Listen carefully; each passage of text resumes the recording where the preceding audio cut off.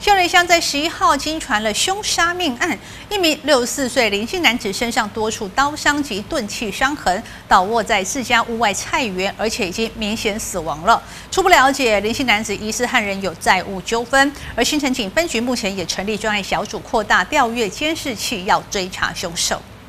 警方在现场勘查搜证，并且拉起了封锁线。十一号上午，花莲县秀林乡发生一起凶杀案件，警方接获报案到场时，在树林中发现一名男子全身是血，已经没有生命迹象。对啊，在家被砍的，嗯，在家被洗车的时候，洗车的时候被人家。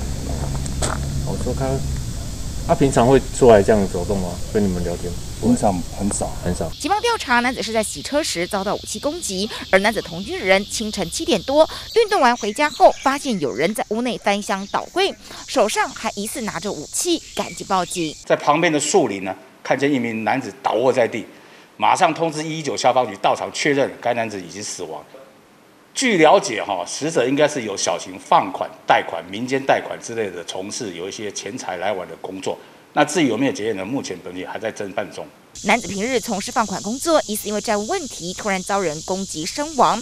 警方调阅周边监视器，锁定犯嫌追缉。至于犯案动机，警方也调查厘清。记者综合报道。